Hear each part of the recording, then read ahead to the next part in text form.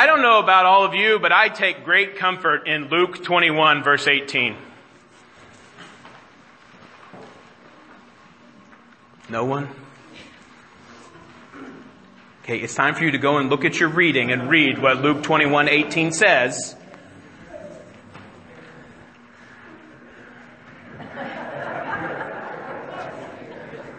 Not one of your hairs on your head will perish. I take great comfort in that verse. It's actually the only verse out of this lesson that I really wanted to preach on this week. And I have to be honest this morning. This is going to be tough for me. And it's probably going to be tough for you. But you know what? It's been a hard week.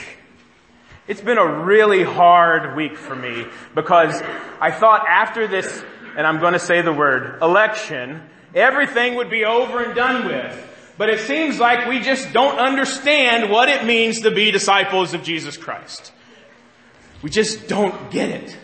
And that's what this verse is really all about. We read this verse and we think, oh my God, it's talking about the end of time. Right? This, this is, this means, this means yes, this means no. This is about the end of time, right? That's what we originally, when we read these verses, when we, we look at what Luke is saying here, and Matthew has the same things. It's all about what's going to come, right? But tell me, if you can, when was there a time that a nation was not rising against nation? And when was there a time that kingdoms were not rising against kingdoms? And when was there a time that there weren't great earthquakes and there weren't great plagues and there weren't great famines?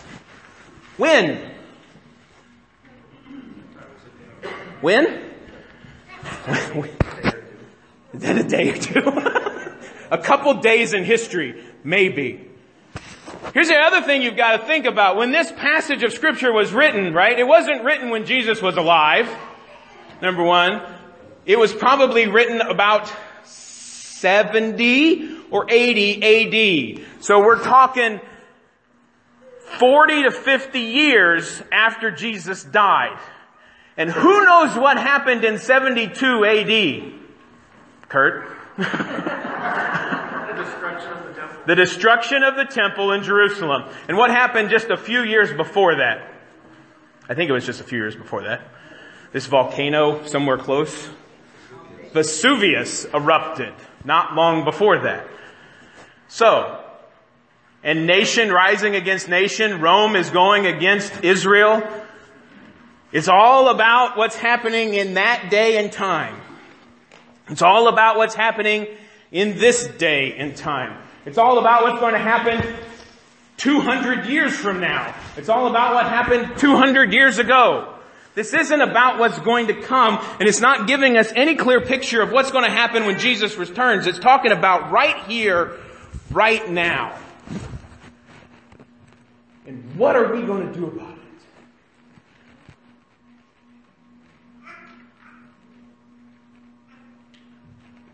This past couple days I've spent with our senior high youth in Manitowoc with a speaker I had no clue who he was. His name is Grant Norsworthy. Anyone? You've probably never heard of him. You might have heard of the Paul Colman Trio. And anyone? No one. Wow. How about Sonic Flood? Okay, so you actually have no clue who this man is. He's actually a musician who came from Australia back in the, I think, 90s, mid 90s, late 90s with uh, the Paul Colman Trio, who is actually a Christian band who mainstreamed into um, our music scene here in America in the in the late 90s. Um, and then he joined a band, a, a worship band called Sonic Flood. But he's a bass player, he's a musician. But he came to speak to these kids about what it means to follow God. And he had some points for them. He had three points for them. And I think they fit very nicely with what our text talks about today, right? About bad things happening to us.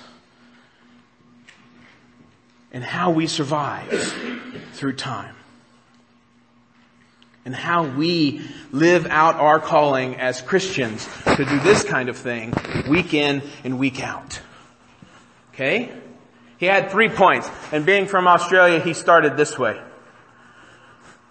Now, remember, I was with senior high kids. No, really? Are you guys awake this morning? He started like this, so they gave him a hard time because he said the first number one point that you need to remember. And then, and then uh, later on in the session, he came back and he said, "Well, I got in trouble. I was told that I was supposed to use this finger first. And after he got done with that session, I went up to him and I said, Grant, you need to switch back to this way." And he looked at me kind of funny and he said, "Why?" And I said, "On your hand, which finger is the weakest finger?" Which finger is the weakest finger? This one, right here. And do you know what his number one point was? His number one point was, the three things I want you to know are, God loves you. And because God loves me, I'm going to love Him. And because of that, I'm going to do what He leads me to do. Now, why did I go back to Grant and tell him that he needed to keep this as God loves me?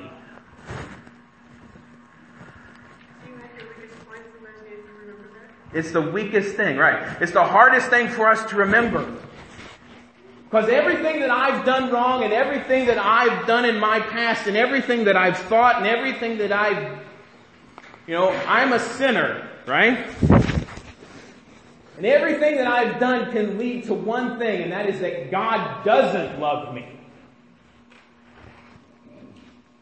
But if we can understand that God loves us where we're at right here, right now, then that is truly going to lead us to the fact that we love God because He first loved us. You see, this scripture passage isn't about us getting things right and understanding when Jesus is going to come back. Because He's going to come back like a thief in the night. And Jesus Himself said to His disciples that no one knows the time that this is going to happen except for the Father. Not even me, not even the Spirit. We don't know what the total plan is. Only the Father knows. So the only things that we can do in our lives that are going to make any sense is know that God loves us and love Him because He first loved us. And then because of that, follow where He's leading us to go and do the things that He's calling us to do. That's it.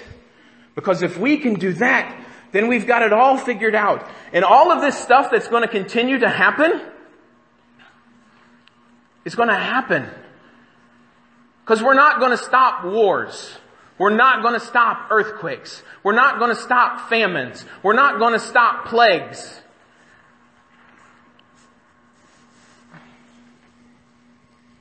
We're going to survive. And it's not going to be a walk in the park. Right? This verse is telling us that life's going to be hard. And people are going to not like you because you follow me. But I'm always with you. How many of you know the song? And I know I'm going to get people that know this one. I'm going to tell you the person that composed it, though, first. By Leonard Cohen. How many of you know the fourth verse to Hallelujah? And how many of you know why the song was written? Right? You all, any of you that have children who have seen the movie Shrek know the, the song Hallelujah because it was on the Shrek 2 soundtrack. The song Hallelujah is actually a song that we should sing in church because it was written about Bible heroes. I, I kind of lied to Bill in my office this morning. It's not just about David. It's about David and um, there's a reference to some, to, um, who's the hair guy? Samson. There's a reference to Samson in it too. Thank you. See, I don't know the hair guys because that's just not my thing. So, unless you could see a picture from me from the 80s or 90s, and we're just not even going to go there. Just not even going to go there. The fourth verse is probably really about David. Right? Because all of us are broken and all of us are sinful and all of us have done wrong things. And the song Hallelujah is about how we stand before God and all that we have to do is sing our broken praise to God. Because that's all God really wants. For us to stand there naked in front of Him saying, I'm broken and I'm nothing without you. And all I can do is say, praise be to you. And the fourth verse is, I did my best. It wasn't much. I couldn't feel, so I tried to touch. I've told the truth. I didn't come to fool you. And even though it all went wrong, I'll stand before the Lord of song with nothing on my tongue but hallelujah. Because all God wants us to do is to go on with life. And I know nobody here has thought this, but as I was listening to Grant speak his second time to the senior high kids is, you know, thinking through all the garbage that I saw on Facebook all week long is, if anybody thinks that Hillary Clinton was going to be the savior of the world, you're stupid. If anybody thinks Donald Trump is going to be the savior of the world, you're stupid. There's only one person that can fill that role, and he died on a cross for you 2,000 years ago. And so it doesn't matter what's going to happen in this world. Pestilence is going to come, wars are going to come, all of these bad things are going to happen, but if we can cling to the fact that God loves us, it's not going to matter. Bad things are going to happen, and you're not going to stop that. But if you know that God loves you and you're willing to stand before Him broken and just give Him praise, that's all He wants. It's all He's asking us to do. So go and be like Martin Luther. Right? This is the year of the 500th anniversary. We have to talk about Martin Luther. Go and be like Martin Luther, who was said to have written, but it's nowhere to be found in any of his writings that if I knew the end of the world was coming tomorrow, I would plant a tree today. Who cares if the world's going to end tomorrow? We still have things to do today. We still have people to tell that God loves them. We still have people to help them understand the love of God. We still have people to show them the grace and mercy that God has given to each and every one of us. So go out and plant a tree and go out and be who God has called you to be, a conduit for His love pouring it out into the world because that's what's going to make a difference. If we can be disciples of Christ, then we can change the world and that's the only person that's going to save anybody. So go and plant a tree and show everybody how much God loves them.